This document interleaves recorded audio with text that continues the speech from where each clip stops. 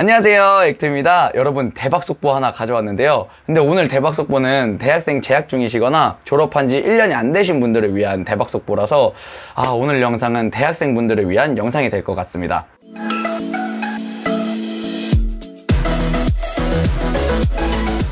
그래서 오늘 제가 말씀드릴 대박 속보는 뭐냐면요. 바로 바로 바로 바로 WEST 프로그램인데요. WEST 프로그램은 Work English Study Travel의 약자로 정부 지원을 받고 미국에 가서 영어도 공부하고 여행도 하고 인턴십도 하는 그런 프로그램입니다. 1년에 딱 두 번 지원하실 수 있는데 상반기, 하반기로 어, 장기, 단기, 중기, WEST Plus 이렇게 네 가지 프로그램에 지원하실 수 있습니다. 4개의 WEST 프로그램은 각각 기간이 다른데요. 단기 WEST 같은 경우는 어학연수 2개월, 인턴십 3개월에서 4개월, 그리고 마지막으로 여행 1개월이 있습니다. 중기 WEST는 어학연수 3개월, 인턴십, 어, 컨닝 좀 할게요. 6개월에서 8개월, 그리고 마지막 여행 똑같이 1개월이 있습니다. 장기 WEST는 WEST 프로그램들 중에서 기간이 가장 긴 프로그램인데요. 무려 18개월짜리 프로그램입니다. 두둥. 장기 WEST 같은 경우는 어학연수 4개월, 인턴십 8개월에서 12개월, 그리고 마지막 똑같이 여행 1개월이 있습니다. 그리고 마지막으로 WEST Plus인데요. WEST Plus 같은 경우는 어학연수 2개월, 인턴십 6개월에서 10개월, 마지막으로 똑같이 여행 1개월이 있습니다.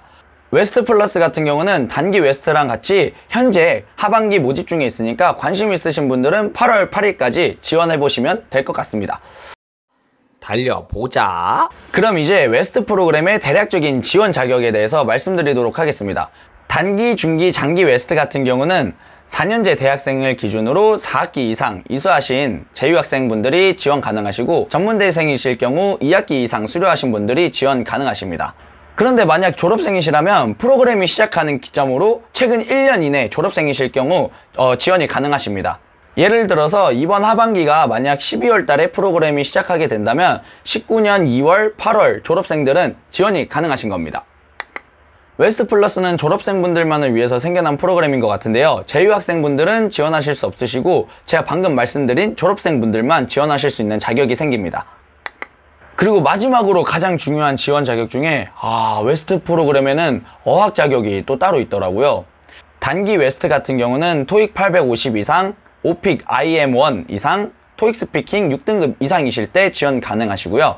중기 WEST 같은 경우는 토익 800점 이상, 그리고 OPIc IL 또는 토익 스피킹 5등급 이상이실 때 지원 가능하시고요. 장기 WEST는 토익 750점 이상, 그리고 OPIc IL, 토익 스피킹 5등급 이상이실 때 지원 가능하십니다. 마지막으로 WEST Plus는 가장 유한 어학 자격을 요구하고 있는데요. OPIc IL 또는 토익 스피킹 5등급 이상이시면 지원 가능하십니다. 달려보자. 이렇게 대략적인 지원 자격을 말씀드렸는데요. 좀 더 구체적인 지원 자격과 신청 절차가 궁금하신 분들은 네이버에 월드잡을 검색해 주시면 월드잡에서 WEST 프로그램에 대한 구체적인 신청 절차 그리고 지원 자격을 확인하실 수 있습니다. 그런데 WEST 프로그램을 알아보실 때 꼭 주의하셔야 될 부분이 있는데 정부 지원을 받고 미국에서 인턴십을 하는 프로그램이지만 참가비가 따로 있어요. 근데 이게 프로그램마다 참가비가 액수가 달라지거든요. 제가 확인해 본 결과 단기는 5,850달러, 그리고 중기는 7,400달러, 장기가 제일 비싼 9,000달러고요. WEST Plus는 6,600달러로 프로그램마다 각각 다른 참가비가 있다는 것을 꼭 유념하셔서 알아보시기를 추천드리겠습니다.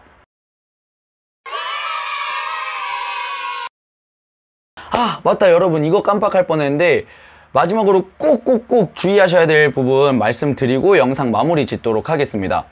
미국 문화에서는 신기하게도 한국과 다르게 인턴십을 할 때 무급 인턴이 당연한 걸로 생각한다고 하더라고요. 그러다 보니 정보 지원을 받고 가는 프로그램인데도 불구하고 무급 인턴십이 상당히 많다고 해요. 유급 인턴보다 무급 인턴의 비율이 더 많다고 하니 이 점 꼭꼭 주의해서 지원해 주시면 감사하겠습니다.